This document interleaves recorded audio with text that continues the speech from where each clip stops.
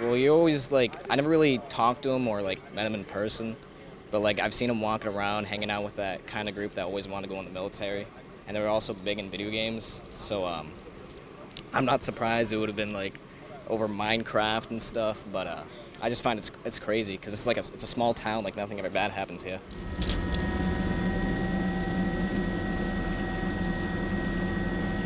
Well, it was definitely like not the brightest idea you ever had. You know, uh, um, obviously if you go on Minecraft, like it's online, like anybody can play. You know, it's like for everybody to see. So uh, the fact that like it was spread on there, like I'm not surprised it got so like it's spread it everywhere, and everybody knows about it now.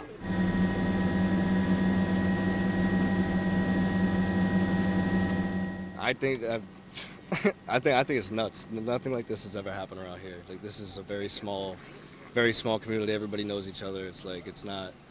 And again, I don't want to slander the kid because I really didn't know him, but I, I knew of him. Went to high school with him. So.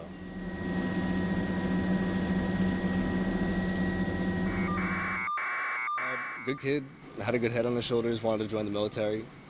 Um, that's all I can really say about that.